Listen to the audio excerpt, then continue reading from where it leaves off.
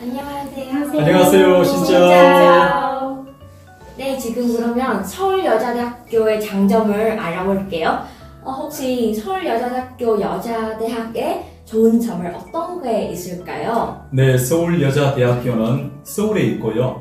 서울에 있고 어, 교육부로부터 한국 정부로부터 잘 가르치는 대학으로 지난 10년 이상을 어, 그에게 국가 보조금을 받는 대학입니다.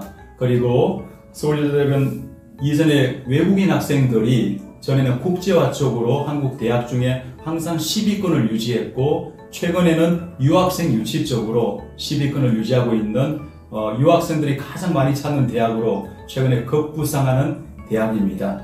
네. 네, 감사합니다. 네, 다음 질문이고요. 어, 서울여자대학교만의 장점이 무엇인지 혹시 좀 알려주시겠어요? 네, 서울여자대학만의 장점이라기보다 여자대학이기 때문에 가지고 있는 장점인데요. 유학생들을 가장 잘 가르치는 대학. 그러니까 서울여자대학이 여자대학이다 보니까 학생들을 관심, 걱정을 잘 들어주고 학생들에게 굉장히 관심을 많이 가지고 잘 가르치는 대학들입니다. 그것 때문에 학생들이 많이 어, 찾고 있는데요. 어, 그리고 서울여자대학이 외국인 기숙사가 3개나 있어요. 그래서 외국인 기숙사가 있기 때문에 모든 학생들은 기숙사 생활을 원하면 다 생활이 가능합니다. 그리고 어, 우리가 학비가 가장 저렴하고 장학금을 제일 많이 주는 대학 그런 대학으로 외국인 학생들이 최근에 가장 많이 찾는 대학입니다.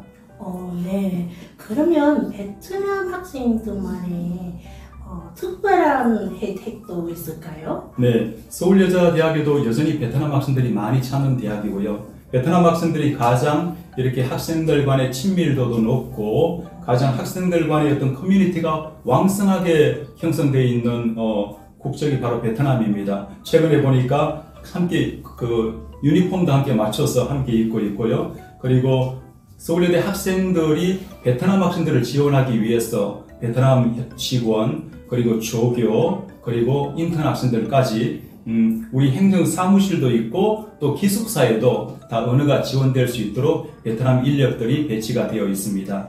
네. 알려주셔서 정말 감사드립니다. 네.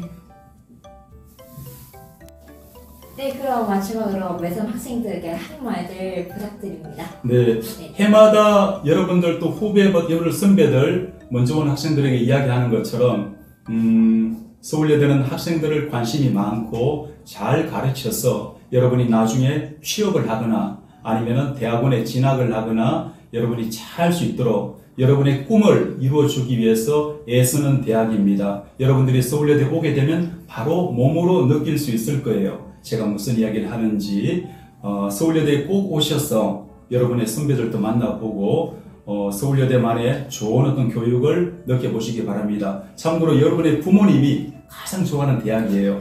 많이 오셔서 서울여대 캠퍼스에서 만나기를 기대합니다. 감사합니다. 네, 감사합니다. 설명 네, 잘 해주셔서 정말 감사합니다. 네. 네.